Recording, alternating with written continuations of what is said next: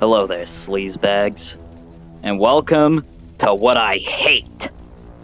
This is the first episode. We'll be talking about what I hate about a lot of things. You know, like furries and homosexuals and all those trans. But today, we're gonna talk about VR chat. What do I hate about it? Well, there's quite a lot to choose from.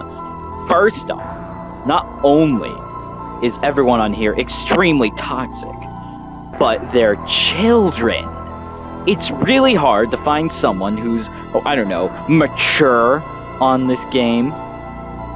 What else is there, I bet you're asking? Well, the role plays are cringe as shit. Everyone's just doing erotic role plays with avatars that tits go out to here. it drives me mad. What's another thing? Oh, the world. The world. 83% of them are shit. 83%. That's a lot. but hey, can't complain. I mean, I'm here in a world that's other shit. Look at this. Who makes a fireplace that does bubbles?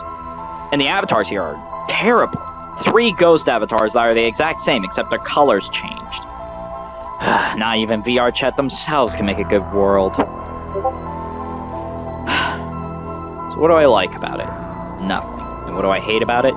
Furries. They're everywhere. You can't escape them. They're goddamn everywhere. furries. I, I, I've had many bad experiences with furries, which is why I hate them.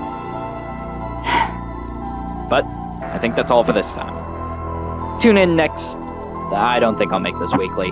Fuck, I know I'm not even gonna make it monthly. Tune in next time then. When I when we when I tell you what I hate about. Fucking break from this shit.